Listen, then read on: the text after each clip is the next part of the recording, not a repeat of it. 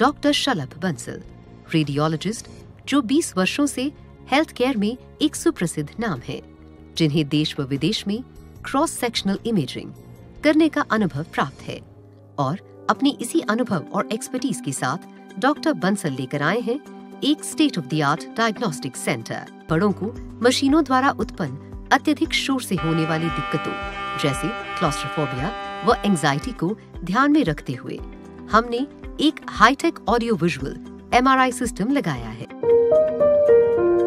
Tesla imaging and diagnostic centre युवा दल के बैनर तले बड़ी संख्या में मेरठ विकास प्राधिकरण पहुँचे युवाओं ने प्राधिकरण की कार्य प्रणाली को आईना दिखा दिया।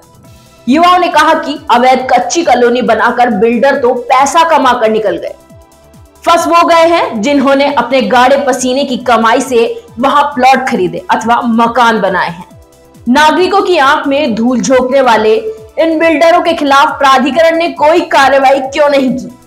इसके अलावा, जिन अभियंताओं के क्षेत्र में बड़े पैमाने पर तीन सौ छियासठ कच्ची कॉलोनियाँ बन गई, उनके खिलाफ प्राधिकरण उपाध्यक्ष ने कोई कार्रवाई क्यों नहीं की? प्राधिकरण के अभियंता के बिना कच्ची कॉलोनी बन ही नहीं सकती। अब कच्ची कॉलोनी बनाकर पैसा बटोर चुके बिल्डर खुलेआम जनता के पैसे से ऐश लेते घूम रहे हैं। इस दौरान एमडीए वाले चोर हैं, जैसे नारे भी वहाँ सुनाई दिए। युवाओं के इन जलते हुए सवालों का प्राधिकरण उपाध्यक्ष अभिषेक पांडे कोई संतोषजनक जवाब नहीं दे पाए। देखिए।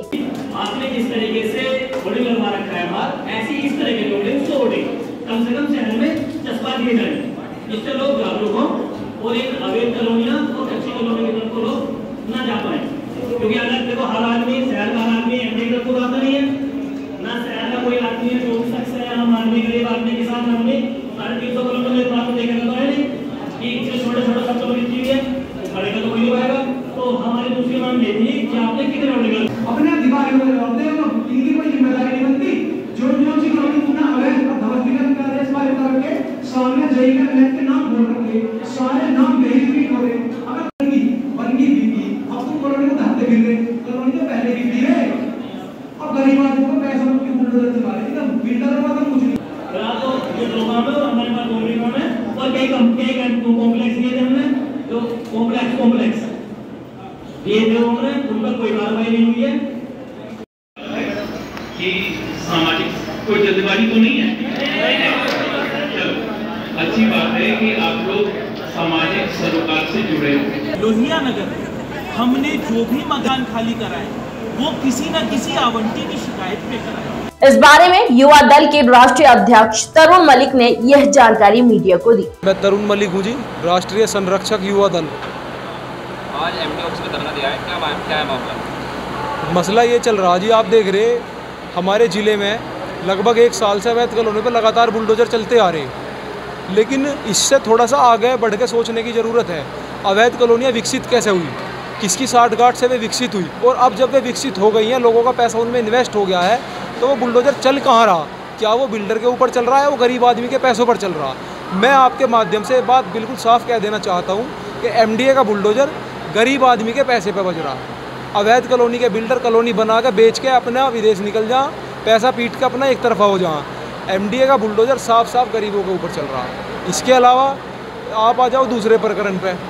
ये जो अवैध कॉलोनियाँ बनी हैं, इन पर कार्रवाई चल रही है, लेकिन इनके जो अधिकारी हैं, जिनके कारण से अवैध कॉलोनियाँ विकसित हुई हैं, उन पर कार्रवाई कब होगी? लगातार वही नाम रिपीट होते आ रहे एमडीए ने साढ़े तीन सौ कॉलोनियों की सूची जारी करी है, जिसमें लगातार हर कॉलोनी के सामने कुछ नाम बार बार रिपीट हुए यदि उन पर पहले ही कार्रवाई हो गई होती तो ये लिस्ट साढ़े तीन सौ के पार ना जाती।